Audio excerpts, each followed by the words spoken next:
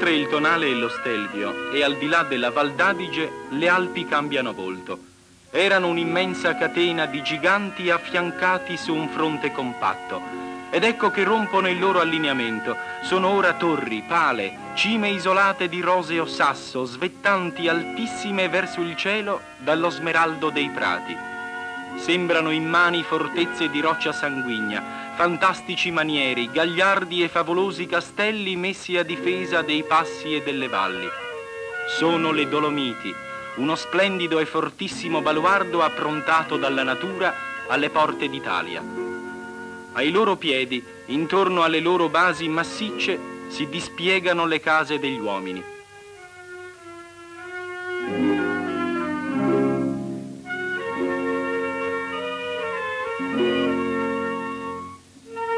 E i fiumi corrono cristallini nelle valli e cantano rapidi tra foreste e villaggi, pronti ad un lungo cammino. E nei laghi gelidi e limpidissimi si raccoglie a specchio delle cime l'acqua dei ghiacciai.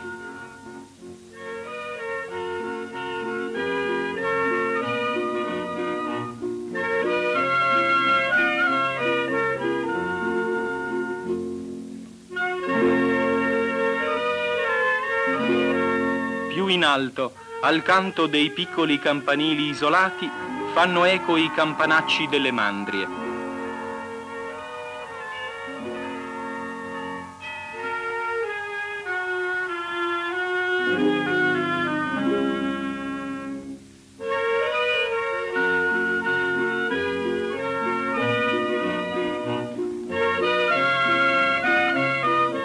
Ancora più in alto, nella luminosità iperborea delle vette, corre solitario il grande urlo del vento.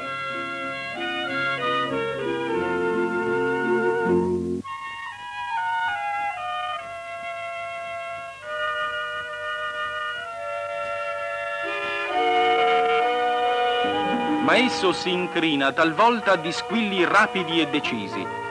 È la schietta voce che regola la vita degli alpini sentinelle di queste porte e delle strade che le attraversano, unici padroni, dopo Dio, di queste aspre e serene altitudini.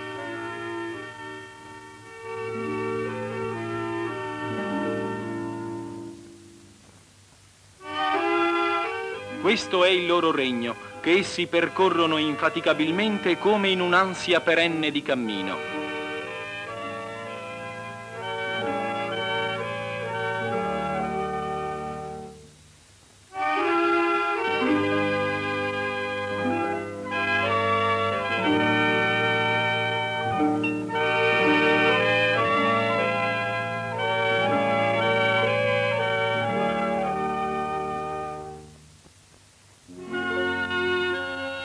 Essi trascorrono la loro vita dura e serena in lunghe fatiche e in brevi soste.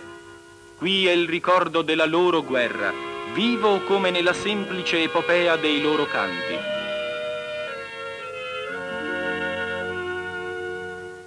E qui il sobrio ristoro della gavetta all'ombra amica delle rocce.